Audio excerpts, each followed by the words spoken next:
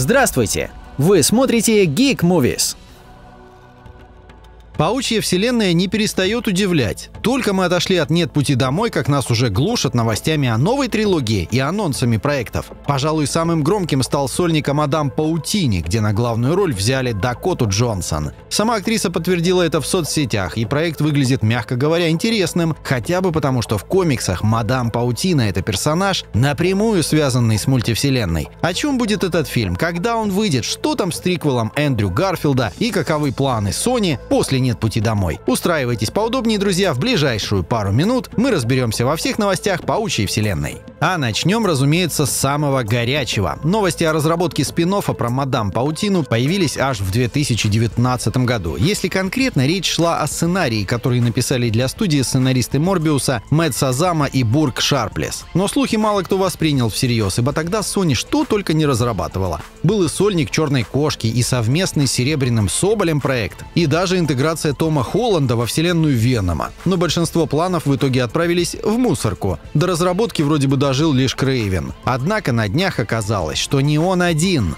Мадам Паутина взяла перерыв на ковид и вернулась с мощнейшими новостями. Фильм не просто продолжает развиваться, но еще и находится на финальной стадии переговоров с Дакотой Джонсон, которая в Инстаграме опубликовала эмодзи Паутины, фактически подтвердив свое участие. В общем, ожидание Бэтмена получается веселым. До премьеры Бэтмена с Робертом Паттисоном осталось меньше месяца. Нуарный Готэм и невероятный загадочник готовятся шокировать зрителей. Как и факт того, что сразу следом нас ждет Морбиус и сиквел Доктора Стрэнджа. С таким количеством новинок можно было бы стать банкротом, если бы не приложение банка Тиньков, при помощи которого клиенты банка могут возвращать до 30% стоимости билетов кэшбэком, если приобрели их именно там. Там же, кстати, есть удобный поиск по кинотеатрам, среди которых можно выбрать ближайший к вам по карте. А еще внутри вы найдете подборки фильмов, которые уже идут в прокате или скоро будут выходить. Каждые две недели в разделе кино проходят акции на громкие премьеры. А если вам нужно четко спланировать поход с ребенком на детский сеанс, сеанс. В приложении легко выбрать места для взрослых и детей. Билеты хранятся прямо в приложении. Для большего удобства их можно добавить в Apple Wallet или Google кошелек. А если что-то сорвется, там же можно удобно оформить возврат. Приложение Тинькофф Банка – это ваш главный помощник, который решает бытовые вопросы и помогает провести время интересно, а главное – выгодно. Поэтому не теряйте времени и скорее переходите по ссылке в описании, чтобы купить билеты с кэшбэком на самые лучшие места.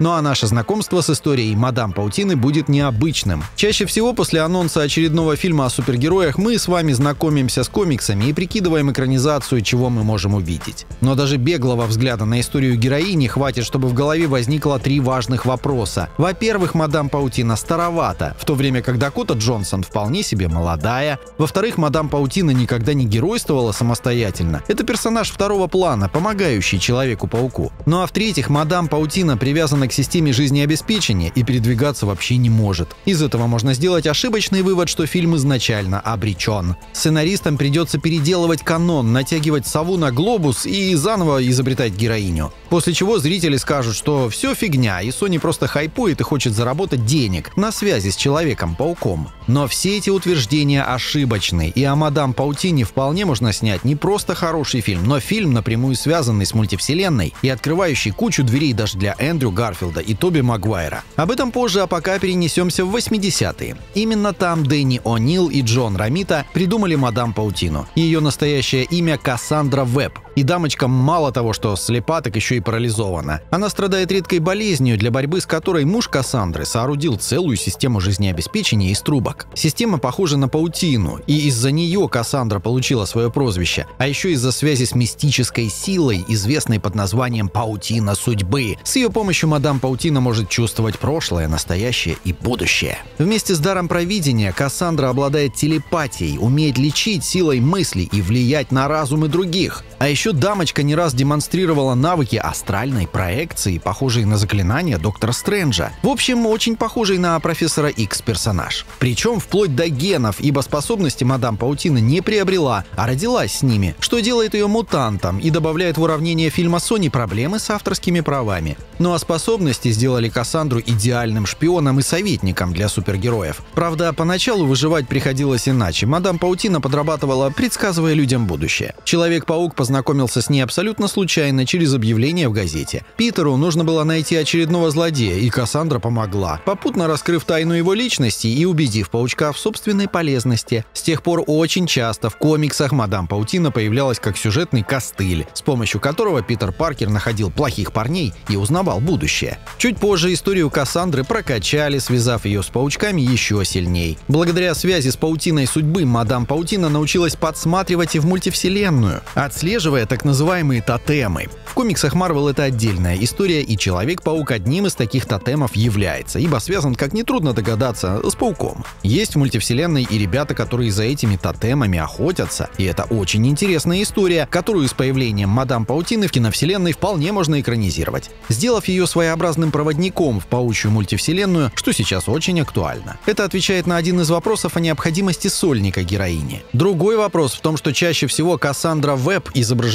в форме старушки, и это тоже решаемая проблема. Ведь в комиксах мадам Паутину омолаживали и даже убирали ей все недуги. Это произошло после получения дамочкой бессмертия, и какое-то время Кассандра была молодой, что открывает двери для Дакоты Джонсон. И даже если Sony не будет экранизировать этот сюжет, вариант остается. Ведь должность мадам Паутины носила не только Кассандра. Ей также была Джулия Карпентер, которой старушка передала свои силы. Джулия, получив телепатию и весь букет сил мадам Паутины, одновременно ослепла. Но все же была молодой и продолжила оказывать функции советника. Не исключено, что сыграет Дакота Джонсон как раз эту версию мадам Паутины. И здесь есть небольшой сюрприз. Ведь Джулия Карпентер — это женщина-паук. Она обладала способностями Питера Паркера и долгое время помогала мадам Паутине в борьбе против злой версии женщины-паука. Это долгая история, но нам важно то, что помимо Паркера, мадам Паутина неразрывно связана с женскими версиями паучка. Одна из них вообще была мадам Паутиной. И в этом свете фильм начинает выглядеть очень интересно, ведь гипотетически Сони может начать с того, что Дакота Джонсон сыграет женщину-паука. И лишь по ходу фильма познакомиться с мадам Паутиной, чтобы в концовке получить ее способности. А затем плавным образом присоединиться к киновселенной, став советницей какого-нибудь Тома Хохланда или Эндрю Гарфилда. Звучит интересно, не правда ли? Как видите, из сольника «Мадам Паутины» можно сколотить вполне себе крепкий фильмец с женскими версиями Человека-паука, мультиверсом и приятными намеками на будущее. Да и красная повязка на Дакоте Джонсон сидит отлично, о чем мы прекрасно убедились по просмотру 50 оттенков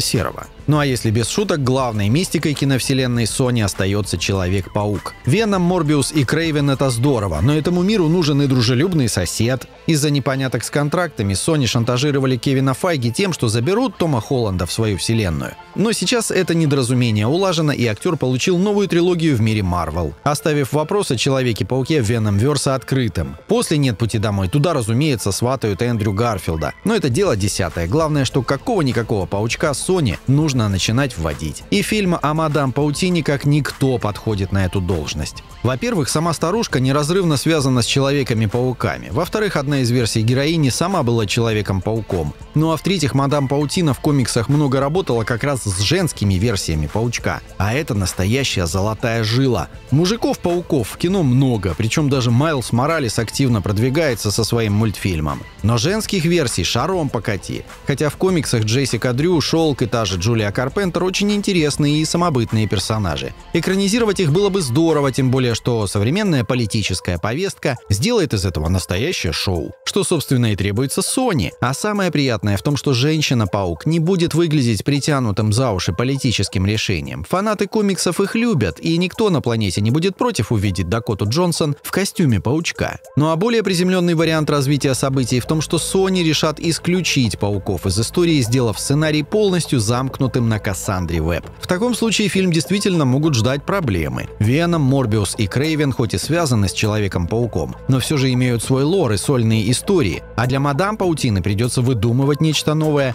Глядя на фильмы киновселенной Sony, к сожалению, образцом сценарного мастерства их назвать тяжело. И в таком случае перспективы Дакоты Джонсон выглядят весьма туманно. Но по нашему скромному мнению, это маловероятный вариант. Успех мультивселенной и «Нет пути домой» уже сказался на кинематографе. И даже в сериал о Бобби Фетте Дисней насували столько камео старых персонажей, сколько смогли. По слухам, фестиваль фан-сервиса намечается и в «Докторе Стрэнджа 2». Будет странно, если Sony решит забить на тактику, которая сделала Человека-паука 3 одним из самых кассовых проектов в истории. Более вероятно, что в фильм о Мадам Паутине все же насуют женских версий Паучка и выкатят пусть и не гениальную, но, по крайней мере, насыщенную фан-сервисом историю. Где, скрещивая руки, можно ждать и Эндрю Гарфилда. Учитывая, как активно зрители требуют его возвращения, любой анонсированный после «Нет пути домой» проект можно рассматривать под прицелом. Сомнительно, чтобы Sony составила конкуренцию Тому Холланду и решила забабахать третью часть «Паучка Гарфилда». А вот сунуть Эндрю в свою киновселенную с появлением в одном из фильмов японцы точно не будут против. И мадам Паутина подходит в качестве кандидата просто прекрасно. В конце концов, речь о героине, которая чувствует Человеков-пауков и неразрывно с ними связана. В общем, надеемся и ждем скорого анонса, подробных деталей и набросков сюжета. Ну а от вас в комментариях ждем мнения по вопросу гипотетического введения женщин-пауков в кино. До новых встреч, друзья!